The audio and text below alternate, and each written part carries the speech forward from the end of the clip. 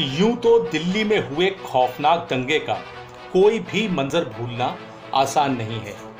मगर आप इस चेहरे को भी नहीं भूले होंगे। ये वही लड़का है जिसे इस साल 24 फरवरी को नॉर्थ ईस्ट दिल्ली इलाके में सड़क पर खुलेआम फायरिंग करते हुए देखा गया था। पुलिस के मुताबिक उसने आठ राउंड गोली चलाई और एक पुलिसकर्मी पर बंदूक भी तान दी थी। लड़के की पहचान अरविंद नगर में रहने वाले शाहरुख के तौर पर हुई थी। गिरफ्तारी के डर से वो काफ़ी भागता फिरा, लेकिन कुछ दिन बाद यूपी के शामली से धर लिया गया। ताज़ा खबर यह है कि 24 जून को उसकी जमानत याचिका दिल्ली हाई कोर्ट ने खारिज कर दी और इस दौरान अदालत ने जो टिप्पणी की है, वो बहुत अहम है।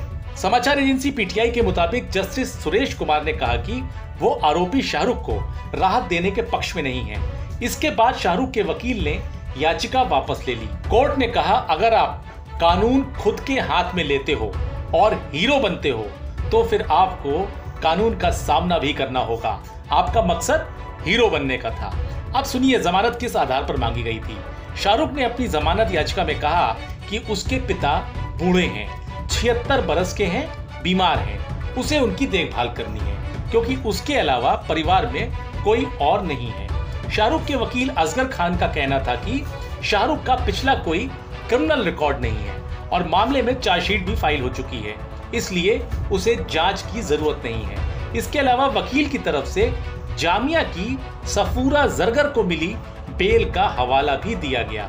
कहा गया कि सफूरा को मानवीय आधार पर जमानत दी गई है। इसलिए शाहरुख की जमानत को भी उसी आधार पर कंसीडर किया जा सकता है। वकील ने एक और तर्क दिया।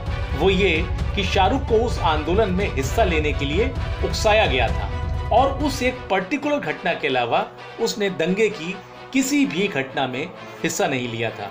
इस पर सरकार की तरफ़ से additional public prosecutor Amit Chadha ने जमानत याचिका का विरोध किया और कहा कि उन्हें दो और सीसीटीवी फुटेज मिले हैं, जिसमें शाहरुख साफ़ तौर पर फायरिंग करता दिख रहा है। कोर्ट ने इन सारे तर्क वितर्कों को सुना, फिर कहा, जब वो पिस्टल लहरा रहा था, तब उसे अपने परिवार के बारे में सोचना चाहिए था।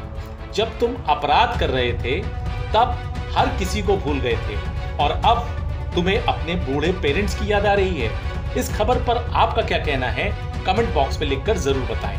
डेस्क रिपोर्ट राज सत्ता एक्सप्रेस।